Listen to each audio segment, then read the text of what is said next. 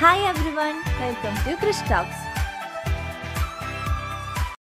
Calicut university first semester B B S സ്റ്റുഡൻസിന്റെ എക്കണോമിക്സിലെ കുറച്ച് extra two mark questions ആണ് നമ്മൾ ഇവിടെ ഡിസ്കസ് ചെയ്യാൻ പോകുന്നത്.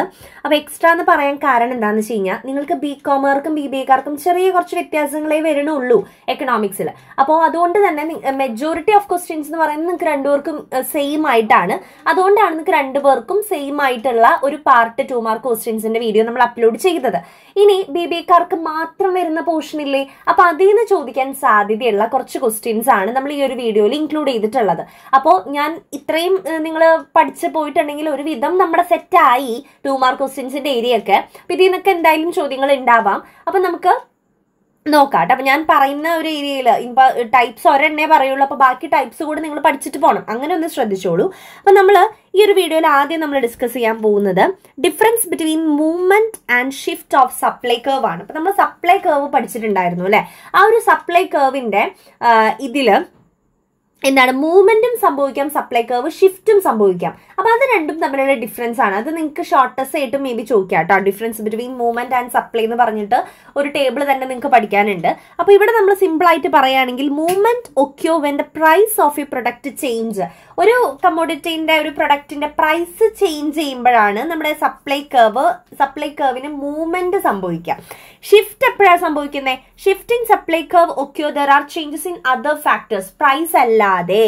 പ്രൈസ് അല്ലാതെ വേറെ ഏതെങ്കിലും ഫാക്ടേഴ്സിന് എന്ത് സംഭവിച്ചാൽ ചേഞ്ച് സംഭവിച്ചാലാണ് നമ്മുടെ സപ്ലൈ കർവ് ഷിഫ്റ്റ് ചെയ്യുന്നത്. മൂവ്മെന്റും ഷിഫ്റ്റും തമ്മിൽ വ്യത്യാസമുണ്ട്. മൂവ്മെന്റ് പ്രൈസിൽ വ്യത്യാസം വരുമ്പോഴാണ് എന്താ പറയുക ഷിഫ്റ്റ് എന്ന് പറയുന്നത് പ്രൈസ് അല്ലാതെ മറ്റ് ഫാക്ടേഴ്സിൽ എന്തെങ്കിലും വ്യത്യാസം വരുമ്പോഴാണ് കേട്ടോ ഓക്കെ ഇനി എന്താണ് പ്രൊഡക്ഷൻ ഫംഗ്ഷൻ എന്ന് പറയുന്നത്?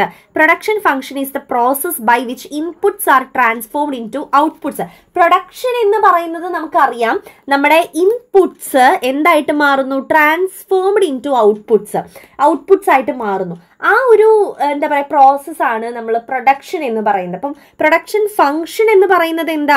There is a relation between the input and output അപ്പോൾ function represent the relation between this two variables അതായത് ഈ ഇൻപുട്ടും ഔട്ട്പുട്ടും തമ്മിലുള്ള റിലേഷൻഷിപ്പിനെയാണ് നമ്മൾ പ്രൊഡക്ഷൻ ഫംഗ്ഷൻ എന്ന് പറയുന്നത്. സിമ്പിളായിട്ട് പറയാന്ന് വെച്ചാൽ the functional relationship between the input and output is known as production function clear ആയല്ലോ? ഇനി എന്താണ് ഐസോകോൺ കേവ് ഐസോകോൺ കേവ് ഞാൻ ഐസോകോൺ കേവ് എന്താണ്? ഐസോകോൺ മാപ്പ് എന്താണ്? ദെൻ ഐസോകോണിന്റെ പ്രോപ്പർട്ടീസ് മാത്രമായിട്ട് നിങ്ങൾക്ക് ഒരു വീഡിയോ ചെയ്ത് തന്നിട്ടുണ്ടായിരുന്നു. അപ്പം ഇതിൽ നമുക്ക് എന്താണെന്ന് ഒന്നും കൂടി നോക്കാം. ഐസോകോൺ കർവ് എന്ന് പറയുന്നത് concave line plotted on a graph ആണ്.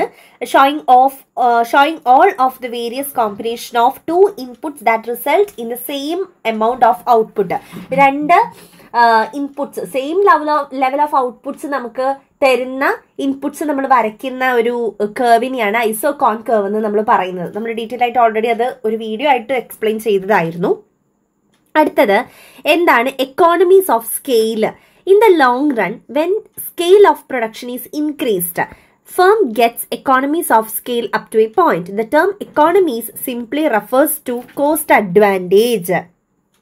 നമുക്കറിയാം. നമ്മുടെ ഈ ഒരു ലോങ് റൺ ഒക്കെ ആകുമ്പോൾ നമ്മൾ എത്രത്തോളം പ്രൊഡ്യൂസ് ചെയ്യുന്നോ അത്രത്തോളം നമുക്ക് എന്ത് കിട്ടും? അഡ്വാന്റേജ് കിട്ടും ഇല്ലേ? Economies of scale are the advantage of large scale production നമ്മൾ ലാർജ് സ്കെയിൽ പ്രൊഡക്ഷൻ നടത്തുമ്പോൾ നമുക്ക് കിട്ടുന്ന അഡ്വാന്റേജ് ആണ് എക്കോണമീസ് ഓഫ് സ്കെയിൽ എന്ന് നമ്മൾ പറയുന്നത്.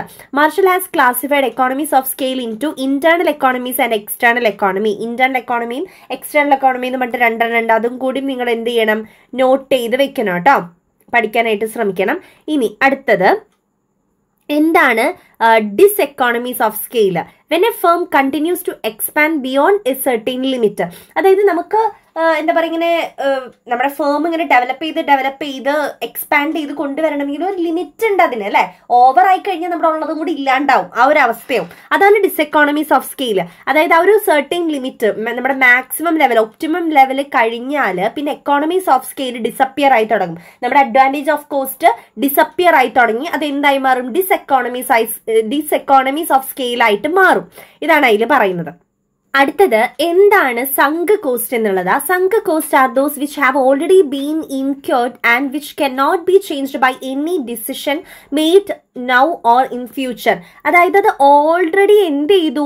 ആ ഒരു സംഘ കോസ്റ്റ് എന്ന് പറയുന്നത് ഓൾറെഡി ബീൻ ഇൻക്യൂർഡ് അത് സംഭവിച്ചു കഴിഞ്ഞു. ഇനി ഒരു ഒരു ഡിസിഷൻസ് എടുത്തുകൊണ്ട് നമുക്ക് ആ ഒരു കോസ്റ്റിനെ മാറ്റാനായിട്ട് പറ്റില്ല. അപ്പൊ അത്തരം cost can not be recovered after incurring അത് അത് നടന്നു കഴിഞ്ഞാൽ പിന്നെ നമുക്ക് അത് റിക്കവർ ചെയ്യാൻ പറ്റില്ല. അപ്പൊ അത്തരം കോസ്റ്റ് ആണ് സങ്ക് കോസ്റ്റ് എന്ന് പറയുന്നത്. അവിടെ ഒരുപാട് ടൈപ്പ് കോസ്റ്റുകൾ നിങ്ങൾക്ക് ആ ചാപ്റ്ററിൽ പഠിക്കാനുണ്ട്. അപ്പൊ അതിൽ ഏത് വേണമെങ്കിലും ചോദിക്കാം. ഞാനിപ്പോ രണ്ടെണ്ണം പറഞ്ഞു ഉള്ളൂ. ഏത് വേണമെങ്കിലും നിങ്ങൾക്ക് എക്സാമിന് ചോദിക്കാം. അപ്പൊ എന്താണ് incremental cost these are increment എന്ന് പറഞ്ഞ എന്താ? അഡീഷണൽ ആണ് അല്ലെ? കൂടുക പോസിറ്റീവ് ആയിട്ട് കൂടുന്നതിനെയാണ് നമ്മൾ ഇൻക്രിമെന്റൽ എന്ന് പറയാ. So these are the additional cost incur due to change in the level of nature or activity നമ്മുടെ ആ ഒരു ആക്ടിവിറ്റിയെ എന്തെങ്കിലും ചേഞ്ച് നമ്മൾ വരുത്തിയത് മൂലം എന്ത് സംഭവിക്കുന്നു? കോസ്റ്റ് ഇൻക്രീസ് ആവുന്നതിനെയാണ് ഇൻക്രിമെന്റൽ കോസ്റ്റ് എന്ന് നമ്മൾ പറയുന്നത്. അടുത്ത ക്വസ്റ്റ്യൻ ആണ്. Social cost of production or social cost എന്താണ് social cost of production in the production of goods goods cost will be incurred not only by the owners of the business but also by the society ഈ ഒരു cost എന്ന് പറയുന്നത് ബിസിനസ്സിലെ owner എന്താ പറയുക owner മൂലം ഉണ്ടാകുന്ന ഒരു കോസ്റ്റ് അല്ല. അല്ലെങ്കിൽ അവിടുത്തെ എന്തെങ്കിലും കാര്യങ്ങൾ കൊണ്ട് ഉണ്ടാകുന്ന ഒരു കോസ്റ്റ് അല്ല.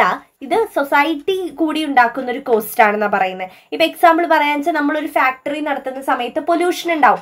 പൊല്യൂഷൻ ഉണ്ടായി ജനങ്ങൾക്ക് അതൊരു ഇഷ്യൂ ആയി മാറുമ്പോൾ നമുക്ക് അവർക്ക് പല കാര്യങ്ങളും അവർ പൊല്യൂഷൻ എന്ത് ചെയ്യാൻ കുറയ്ക്കാൻ വേണ്ടി ചെയ്തു കൊടുക്കേണ്ടി വരും.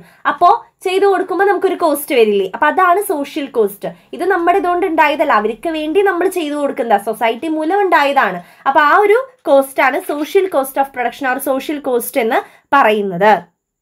അടുത്തത് what is mean by fixed cost എന്നുള്ളതാണ്. Fixed cost is an expense that does not change when sales or production volume increase or decrease നമ്മുടെ പ്രൊഡക്ഷന് അത് ഇൻക്രീസ് ആയാലും ഡിക്രീസ് ആയാലും ഈ ഒരു കോസ്റ്റ് അവിടെ എങ്ങനെയായാലും ഉണ്ടാവും. ഈ കോസ്റ്റ് എങ്ങനെയായിരിക്കും? ഫിക്സഡ് ആയിരിക്കും. ഫിക്സഡ് കോസ്റ്റ് ആയിരിക്കും. ഇനി അടുത്തതാണ് എന്താണ് വേരിയബിൾ കോസ്റ്റ് എന്നുള്ളത്? Variable cost it is referred to as the type of cost that will show variation as per the change in the level of production variable cost എന്ന് പറയുന്നത് ഇതൊരു type of cost തന്നെയാണ്. ഇതിൽ variations വരാം. നമ്മുടെ production ഒരു level of production അനുസരിച്ച് ഇതിൽ മാറ്റങ്ങൾ അത് വേരി ചെയ്യും അല്ലെ?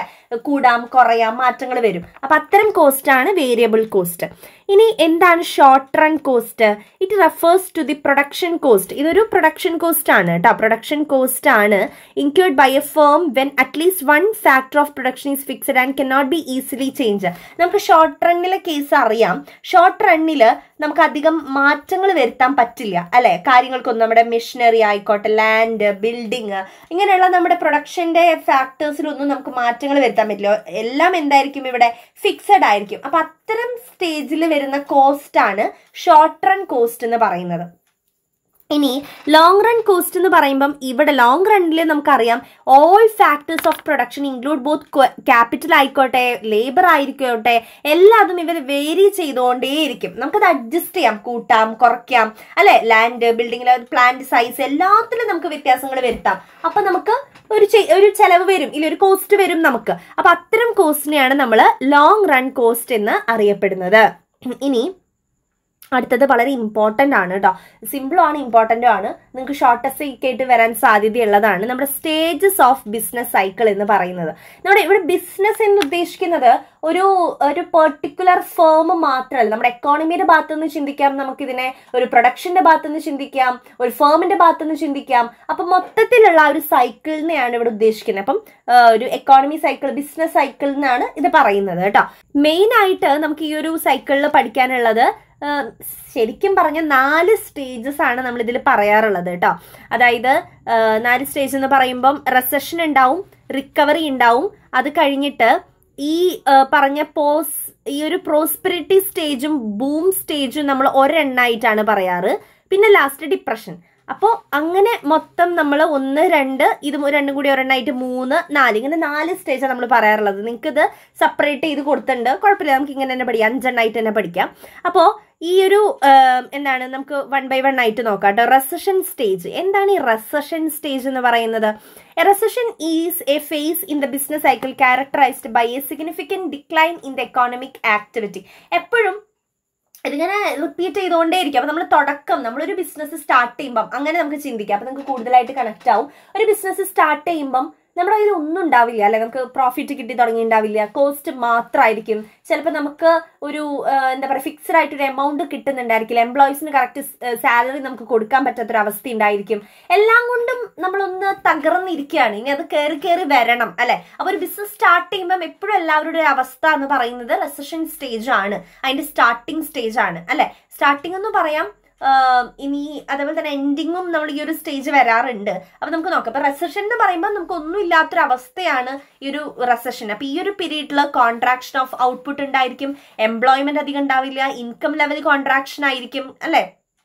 അപ്പൊ ഇവിടെ സ്പെൻഡിങ് ആയിരിക്കും കൂടുതൽ ഉണ്ടാവുക നമുക്ക് അധികം ഇൻകം കിട്ടി സ്റ്റേജ് ആണ് റെസഷൻ സ്റ്റേജ് എന്നുകൊണ്ട് നമ്മൾ ഉദ്ദേശിക്കുന്നത്. അപ്പൊ അതാണ് ഒന്നാമത്തെ സ്റ്റേജ് രണ്ടാമത്തെ സ്റ്റേജ് ആണ് recovery stage the recovery phase follows a recession and make the period during which the economy starts to bounce back അതായത് ഇവിടെ റെസഷൻ കഴിഞ്ഞു വരുന്ന സ്റ്റേജാണ് അതുകൊണ്ട് നമ്മൾ ഒന്ന് ഇങ്ങനെ എന്താണ് റിക്കവർ ആയി തുടങ്ങാണ്. അതായത് കുറച്ച് നമുക്ക് ലാഭമൊക്കെ കിട്ടി തുടങ്ങി നമ്മൾ ഒന്ന് ഇമ്പ്രൂവ് ആവുന്ന ഒരു സ്റ്റേജാണ് ഈ ഒരു റിക്കവറി സ്റ്റേജ് കൊണ്ട് ഉദ്ദേശിക്കുന്നത്. ഇനി കൺസ്യൂമറിന്റെയും ബിസിനസിന്റെ ഒക്കെ കോൺഫിഡൻസ് ഒക്കെ ഒന്ന് ഉയരുന്ന ഒരു സ്റ്റേജാണ് ഇത്. ഇനി നമ്മൾ നെക്സ്റ്റ് മൂന്നാമത്തെ സ്റ്റേജിൽ പറയുന്നത് എന്താ? മൂന്നാമത്തെ സ്റ്റേജിൽ pros prosperity or expansion stage എന്നാണ് ഇത് അറിയപ്പെടുന്നത്. Prosperity often refer to as the expa expansion output employment income level ഇതൊക്കെ കൂടും ഈ ഒരു സ്റ്റേജിൽ കാരണം നമ്മുടെ റിക്കവറി സ്റ്റേജ് ഒക്കെ കഴിഞ്ഞ് നമ്മൾ ഒന്നൊന്ന് സെറ്റായി അപ്പൊ ഇവിടെ നമ്മുടെ ഔട്ട്പുട്ട് എംപ്ലോയ്മെന്റ് ഇൻകം ലെവൽ എല്ലാത്തിനും ഒരു കൂടുതൽ കൂടുതലായിട്ടുള്ള ഒരു വ്യത്യാസം നമുക്ക് കാണാനായിട്ട് സാധിക്കും. കോൺഫിഡൻസ് ഒക്കെ അത്രയും നല്ല ലെവലിൽ നിൽക്കുന്ന ഒരു സ്റ്റേജാണ് അത് കഴിഞ്ഞിട്ട് വരുന്ന ഒരു സ്റ്റേജാണ് ബൂം എന്ന് പറയുന്ന സ്റ്റേജ് ബൂം സ്റ്റേജ് എന്ന് നമുക്ക് പറയാം. ബൂം സ്റ്റേജ് എന്ന് പറഞ്ഞാൽ പീക്ക് ലെവലാണ് നമുക്ക് ഇനി അവിടെ ഒന്നും ചിന്തിക്കാനില്ല. അത്രയും അടിപൊളിയായിട്ടുള്ള ഒരു സ്റ്റേജ് ആണ് ബൂം സ്റ്റേജ് എന്ന് പറയുന്നത് കേട്ടോ. ഇനി അടുത്തത് ഡിപ്രഷൻ സ്റ്റേജ് ആണ്. Depression is an extreme stage എന്ന് പറയാം. നമുക്ക് അതായത് ഡൗൺ ടേൺ ആണ് ഇവിടെ സംഭവിക്കുന്നത്. അതായത് ഒന്നും ഒന്നും ഇല്ലാത്തൊരവസ്ഥയിലേക്ക് നമ്മൾ പോയി. ഇനി അവിടെ നിന്നാണ് നമ്മൾ റെസഷൻ വരുന്നത്. മനസ്സിലായോ? അപ്പോൾ ഈ ഒരു ഗ്രാഫ് നോക്കിക്കഴിഞ്ഞാൽ നിങ്ങൾക്ക് കൂടുതലായിട്ട് മനസ്സിലാവും. ഈ ഗ്രാഫിൽ ഡിപ്രഷൻ സ്റ്റേജ് അതായത് അത്രയും ഒന്നും ഇല്ലാത്തൊരവസ്ഥ ഡിപ്രഷൻ സ്റ്റേജ് അത് കഴിഞ്ഞിട്ട് ഒന്ന് എന്ത് ചെയ്തു നമ്മൾ റിക്കവറി സ്റ്റേജിലേക്ക് വന്നു. അത് കഴിഞ്ഞ് പിന്നെ ബൂം പീക്ക് പിന്നെ റസഷൻ അല്ലെ ഒന്നും ഇല്ലാത്തൊരു സ്റ്റേജിലേക്ക് വീണ്ടും പോയി. പിന്നെ അത്രയും ഡിപ്രഷൻ അപ്പോൾ ഏറ്റവും ഏറ്റവും ലോവർ ലെവൽ എന്ന് പറയുന്ന ഡിപ്രഷനാണ് ഓക്കെ അത് കഴിഞ്ഞ് പിന്നെയും റിക്കവറി വന്നു. പിന്നെ ബൂം സ്റ്റേജ് പിന്നെ വീണ്ടും റെസഷൻ ഡിപ്രഷൻ അങ്ങനെയാണ് ഈ ഒരു നമ്മുടെ ഗ്രാഫ് പോകുന്നത് ബിസിനസ് സൈക്കിൾ പോകുന്നത്. അപ്പൊ ഇതൊന്ന് ഇത് ചോദിക്കാൻ വെച്ചിട്ട് നിങ്ങൾ വരച്ചു വെക്കണം കേട്ടോ. ഇതിൽ ചിലപ്പോൾ വൺ ബൈ വൺ ആയിട്ട് നിങ്ങളുടെ അടുത്ത് ടു മാർക്കിന് ചോദിക്കാം. മനസ്സിലായി? അപ്പൊ എങ്ങനെ വേണമെങ്കിലും ചോദിക്കാൻ സാധ്യതയുണ്ട്. അപ്പോൾ ഇത് കുറച്ച് എക്സ്ട്രാ ക്വസ്റ്റ്യൻസ് ബി ബി എക്കാർക്ക് വേണ്ടി മാത്രമുള്ളതാണ്. അപ്പൊ നിങ്ങൾ പഠിക്കുക. ഇത് ഇത്രയും കവർ ചെയ്ത് കഴിഞ്ഞാൽ തന്നെ ഏകദേശം നമ്മുടെ എക്കണോമിക്സ് എല്ലാ ചാപ്റ്റേഴ്സും നമ്മൾ തൊട്ട് തൊട്ട് തൊട്ട് പോയിട്ടുണ്ട്. ഇനി ഷോർട്ടസ്റ്റ് എസ് ഒക്കെയാണ് നമ്മൾ മെയിനായിട്ട് പഠിക്കേണ്ടത്. ഞാൻ അത് പറഞ്ഞു തരാം നിങ്ങൾ ഓൾറെഡി കവർ ചെയ്തിട്ടുണ്ടായിരിക്കണം. ഞാൻ എന്നാലും ജസ്റ്റ് ഏതൊക്കെ ക്വസ്റ്റ്യൻസ് വിട്ടുപോകാതെ നോക്കേണ്ടത് എന്നുള്ളത് പറഞ്ഞു തരാം. അപ്പോൾ നമ്മൾ ഈ ഒരു ബി ബി എയുടെ നമ്മൾ ഇടാൻ ഉദ്ദേശിച്ചിട്ടുണ്ടായിരുന്നില്ല. ബി കോമിന്റെ ആയിരുന്നല്ലോ ഞാൻ മെയിനായിട്ട് ഫോക്കസ് ചെയ്തിരുന്നത് അതുകൊണ്ടാണ് ഇങ്ങനെ ഒരു വീഡിയോ ഡിലേ ആയ ഒരു സിറ്റുവേഷൻ നെക്സ്റ്റ് സെമ്മ മുതൽ നമുക്ക് മുന്നേ കൂട്ടി ഞാൻ ബി ബി എനെയും കൂടി ഇൻക്ലൂഡ് ചെയ്ത് അപ്ലോഡ് ചെയ്യാനായിട്ട് ശ്രമിക്കാം. So all the very best thank